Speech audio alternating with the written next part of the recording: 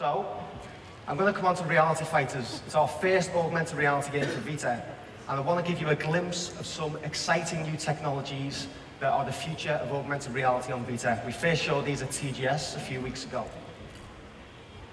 So Reality Fighters is a beat 'em up like no other. For the start, the gameplay takes place in our world.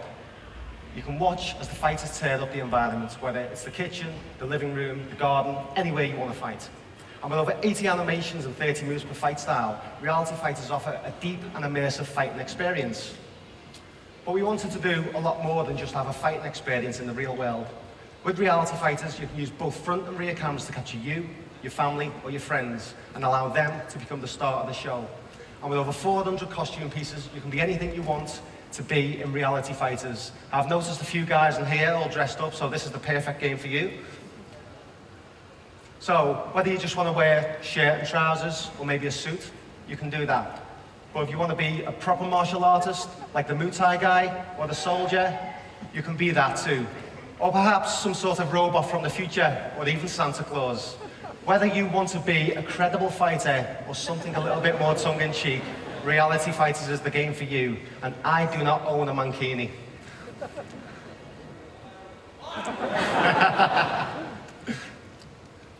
So, we're going to play a video now with some unusual suspects. Let's take a look.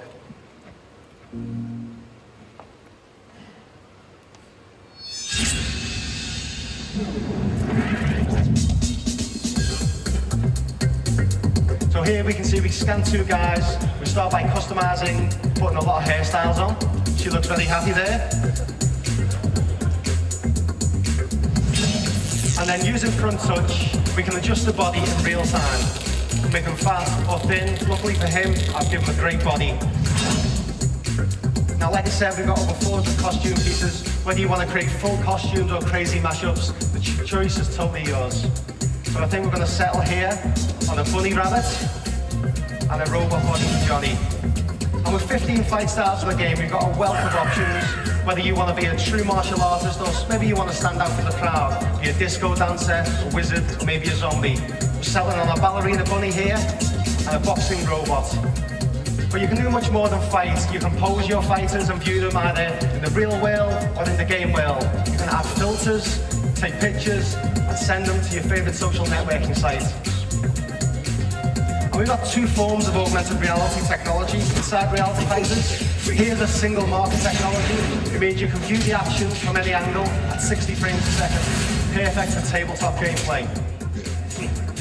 But if you're out and about and on the move, you can use the gyroscope to place the fighters in the world to scale.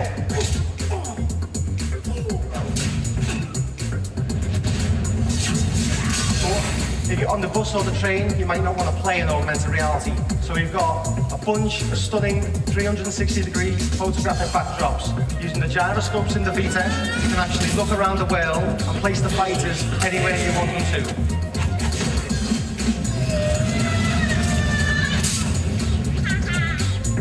As well as the preset backdrops, we allow you to take your own pictures. You can go online, and share them with your friends. So now we're going to see a fight between Johnny and Ellie. Let's see who wins.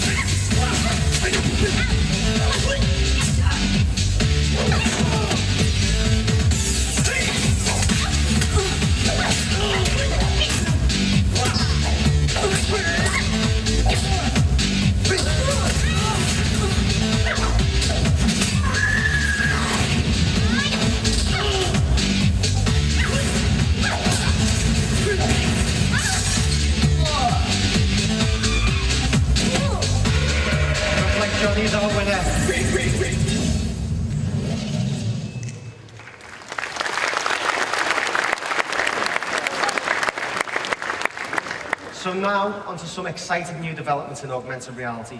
First, we've got wide area augmented reality, or WAR for short.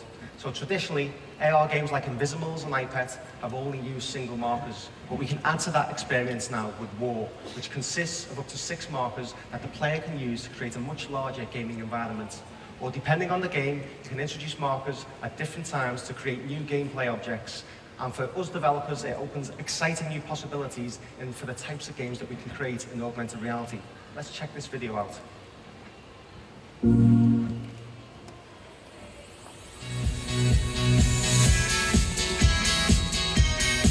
So here you can see Wipeout using single AR. As you can see, it looks awesome.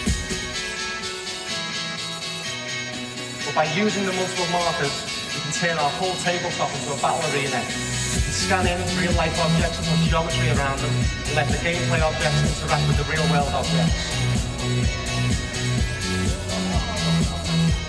We can put markers at different planes, allowing our characters to jump from the table to the ground and smash his head in. I can adjust a racetrack in real time, create my own hills, bends and chicanes.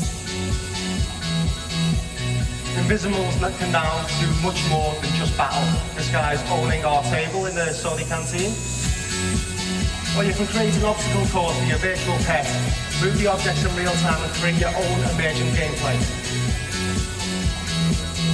And breakfast may never be the same again, unless you like sausages.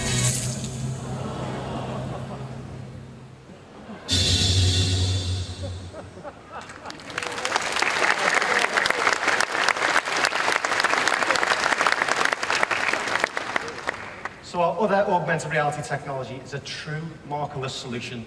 And by using the Vita's processing power, we can create a markerless augmented reality by scanning in the everyday objects that you'd find either in your home or in the street. I'm going to show you a little video now.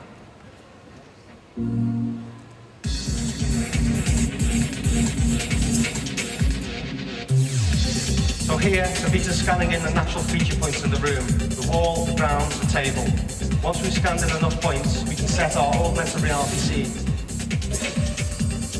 And here's our, one of our apes from Ape Escape. You can see we can rotate around the character just like we can with a marker. This is a new breakthrough in augmented reality technology with the added benefit of being able to get further away from the action than before. Watch out for the trapdoor. So this outdoor scene shows a ton of apes at different scales from the camera. This is the first time we've been able to do this with a true markerless solution. But they're greedy boys. Here we go.